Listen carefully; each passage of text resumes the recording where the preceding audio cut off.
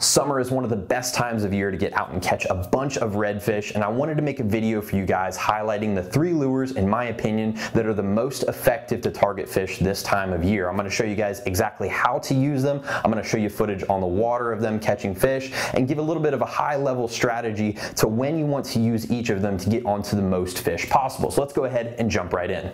So right off the bat, the first thing I'm going to start with in the mornings in the summer is going to be a topwater spook. This is the Salt Strong Moonwalker Walker, but I will also throw Spook Juniors, the She Pups, Top Pups, smaller top waters. I'm not a big fan of the big Heddon One Knockers or the Rapala Skitterwalk full sizes this time of year just because the bait that is around is small shad, small pinfish, small finger mullet, and that's what these redfish are dialed in on. So you don't want to throw a top water that's too big because it gives a very unnatural presentation. Now this size has been great for me lately. I've been throwing it for redfish right up shallow in the early morning. Again, summertime is great for topwater because those feeding windows are really concentrated to twilight periods because the high heat does not allow fish to feed as effectively in the middle of the day. They're cold-blooded, so the really high temperatures are not great on their bodies. They kind of go into preservation mode, find some deeper water, and just hunker down until they can feed a little bit better during the evenings or the early mornings. So usually I'm going to throw this very shallow early morning because those fish are up along the shorelines,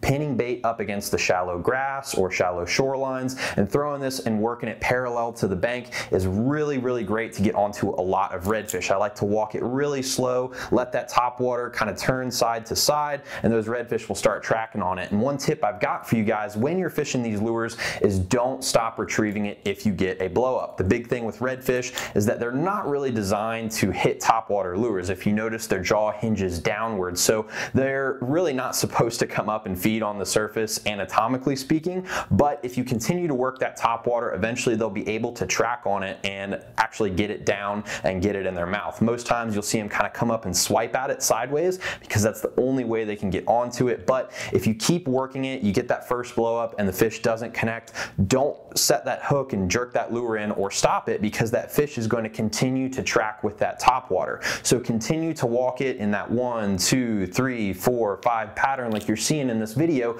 and that redfish will eventually get up on it and hit it properly and you'll be able to connect. Now one big thing that I like, especially with the Moonwalker, you guys can see that this has those single inline hooks on it. Uh, really effective for redfish because again, they're not great at hitting topwater lures and I lose a lot of reds when I fish treble hooks. So the single inlines that come on Moonwalkers or that come on other topwaters, there's not a whole lot on the market that do. You can replace them yourself, uh, but I do like the single inlines because once that fish does connect with that hook, they have very tough mouths and trying to set the hook with trebles, you've got six different hook points you're putting all that power into, you don't have as great of a hook set and I oftentimes will lose fish when they shoot off on a really long run. Now with the single inlines, once I set that hook, that hook is secured in the corner of their mouth or wherever it did hook them uh, and you've pretty much got that fish once you get it back to you. So I would really recommend for those redfish that have tough rubbery mouths, you're going to want to have single inlines on your top waters. But again, top waters in general, early early morning in the summer, late in the evening when that sun is down. A good rule of thumb is stick your arm out and use your hand as a reference. If that sun is above your hand on the horizon, it's about time to start switching to some subsurface presentations we're going to talk about here in a second. But if that sun is behind your hand, you're still good to fish topwater. So the hour before sunrise and a bit after hour, uh, if you get a lot of cloud cover, you can fish it a little bit later on, but that's generally the time I like to work topwaters. This is always what I throw first thing in the morning to try and get onto redfish in the summertime. They very rarely will not hit a top water, but this is generally going to be my first choice when I start throwing for reds first thing in the morning. So after you put those top waters away, it's time to put on a paddle tail. These are what you're probably going to catch 90% of your redfish in the summertime on. Top waters are a great lure to use, but as I talked about, redfish aren't really designed to hit them. You can get some great, really fun blowups early in the morning, but you're gonna catch the most fish possible on paddle tails. I just don't like them kind of at first light because they're a little difficult to see considering they're a subsurface presentation. Top water is easier to see in low light situations, but once that sun gets up and it gets over your hand, talking about that trick that I mentioned, you're going to want to use a paddle tail because this is easiest for the redfish to kind of track on and strike on just because it's subsurface and it's running at the depth that they're hunting. So you're going to fish this right above seagrass. You're going to fish it over oyster bars. You're going to fish it over depth changes.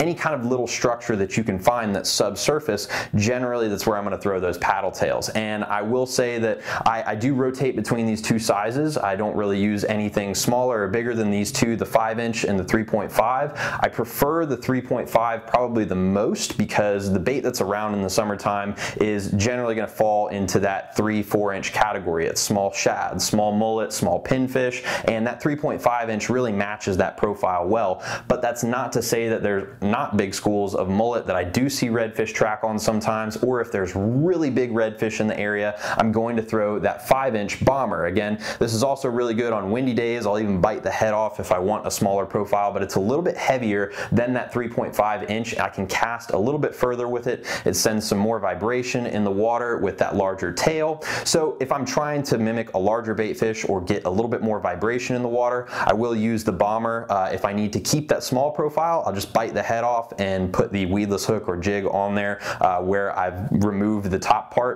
But again, most of the time I'm using that 3.5 if the conditions allow me to fish it. But again, these are gonna be your best lure to use. Uh, they're really great to sight fish with. I like the white because it's easy for me to see. A lot of times when you're casting at redfish, they are moving constantly and you need to make sure that, lure passes by their face at the right time and, and intercepts their path. So the white is really good for the angler to be able to see where that lure is in relation to the fish as it's moving. And this is by far my number one lure I sight fish with, uh, but it also works really well for blind casting as you guys have seen in these videos. Uh, just bombing it out into potholes, bombing it uh, over the mud flats, anywhere that there's oyster bars. You can catch a lot of fish just blind casting with this lure. But for sure with sight casting, the 3.5 is my number one choice just because it's that small profile that big and small fish have a tough time turning down and it's very easy to work. It's very silent when you're sight casting. You don't want to create a big splash when you're throwing lures at fish uh, that are very close by.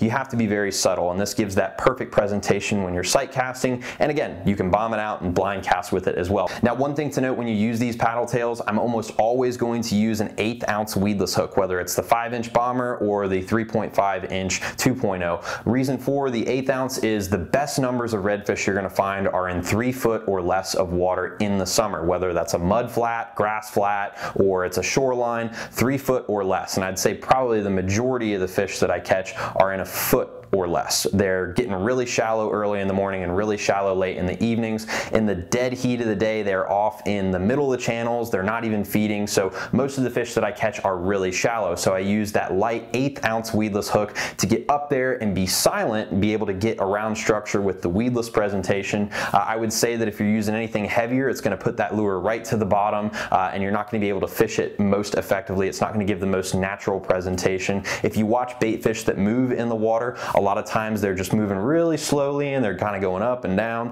That eighth ounce weedless hook kind of mimics that just very silent and slow movement as you're fishing it. You can give pauses and allow that lure to drop. If you use a quarter ounce, it's going to pretty much keep it completely on the bottom. And if you use something too light, it'll ride too high. So in that three foot range, I find that the eighth ounce hook is best to catch redfish in the summertime just because it puts it right in front of their face, right at eye level in the strike zone. And it is just the best way to give a really silent, subtle presentation. So I'd say an eighth ounce owner twist lock, Hoss hook, or if you want to use a jig head, you can use the trout eye jig heads. Those are my preferences. Uh, those would be my recommendations for rigging these paddle tails. But again, one of my top choices to use in the summertime for redfish. Now I've got one more ace up my sleeve for if fish aren't touching the paddle tails and the topwater bite has died down. Maybe it's a little windy and it's hard to fish the paddle tails or the water's dirty. I need some extra flash. I'm gonna throw one of these Johnson Johnson spoons or one of the Aqua Dream spoons. These are phenomenal for catching redfish in the summertime because again, they mimic that small, really shiny shad bait or the small pinfish and you can fish them around structure. Again, you need to make sure you get a weedless spoon, not one that has the trebles hanging off the back of it. I do like the Johnson Silver Minnows or the Aqua Dream spoons. These are fantastic for catching redfish in the summer because they very closely mimic that bait uh, that they are after. So I will fish these on windy days because they're probably one of the best lures to throw into wind. You're gonna be able to cast exactly where you want to. It cuts through the wind really easily because there's not a lot of surface area. Uh, with paddle tails, a lot of times they can catch the wind if you're not casting with it uh, and it'll kind of shoot that lure right back at you, but you don't have that problem with the spoons and especially if there's dirty water, you do get some rains in the summertime, the afternoon showers that can make that water kind of tannic and that's great time to fish a spoon uh, because that tannic water does a great job of letting the light bounce off of these spoons. And in fact, I've got some drone footage I'm going to show you guys here of me fishing some of these gold spoons in some really dirty tannic water. It was literally the only lure I could get these redfish to hit,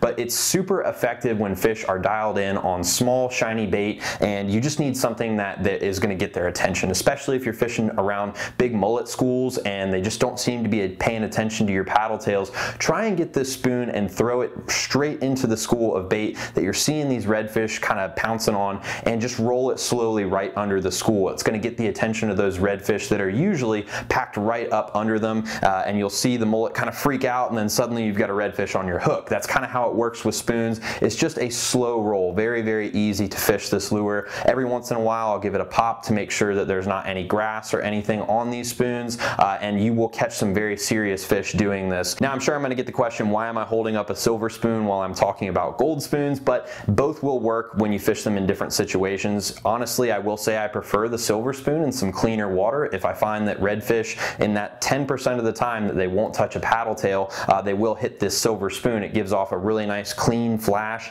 in that really nice clean water. Uh, I don't like to fish the gold spoons in cleaner water. Uh, they will work just I find that the silver is a little bit more natural but in dirtier water I do hold a very heavy preference on gold just because it sends off a little bit more light than I see the silver spoon do in the tannic dirty water. That's just my personal preference and opinion. If you guys feel differently feel free to comment below uh, we can start a discussion there but there's really just a personal preference on that but you can fish either color and they absolutely will catch fish in both water clarity situations but if I had to give some guidance as to which one to choose when I would say silver spoons in cleaner water and gold spoons in dirtier water but again make sure you have one of these in your tackle box when you leave the boat ramp or you go out to wade because they're a great ace up your sleeve when fish won't touch anything else or you just need something that's a little bit easier to fish in really windy conditions or has a little bit more visibility in some of those dirtier water situations. So again, this is my third lure that you're definitely going to want to make sure you have when you're going after redfish. Now one caveat to all of this, be it the top water or the paddle tail or the weedless spoon,